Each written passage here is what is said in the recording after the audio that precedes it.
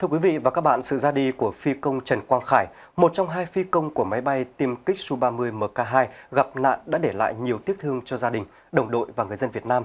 Trong ngày hôm qua 18 tháng 6, Bộ Quốc phòng đã công bố quyết định truy thăng quân hàm từ Thượng tá lên Đại tá cho phi công Trần Quang Khải. Đại tá Trần Quang Khải là phi công cấp 1, Phó Trung đoàn trưởng kiêm tham mưu trưởng Trung đoàn 923, Sư đoàn Không quân 371, Quân chủng Phòng không không quân, trong quá trình công tác, chiến đấu, anh đã được tặng huân chương bảo vệ Tổ quốc hạng nhất, huy chương chiến sĩ vẻ vang hạng nhất, nhì, ba. Phi công Trần Quang Khải đã hy sinh trong khi thực hiện nhiệm vụ bay huấn luyện chiến đấu máy bay Su-30 Mk2 vào ngày 14 tháng 6 tại vùng trời Thanh Hóa và Nghệ An.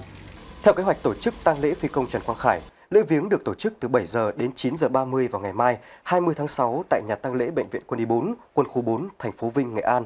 Lễ truy điệu diễn ra ngay sau đó. Thi hài phi công Khải sẽ được đưa về quê nhà ở xã Tân Dĩnh, huyện Lạng Giang, Bắc Giang. Lễ viếng tại quê nhà được tổ chức từ 18 giờ ngày 20 tháng 6 đến 7 giờ 30 ngày 21 tháng 6. Lễ đưa tang tổ chức vào hồi 8 giờ ngày 21 tháng 6 và hỏa táng tại Đài Hóa Thân Hoàn Vũ, Văn Điển, Thanh Trì, Hà Nội.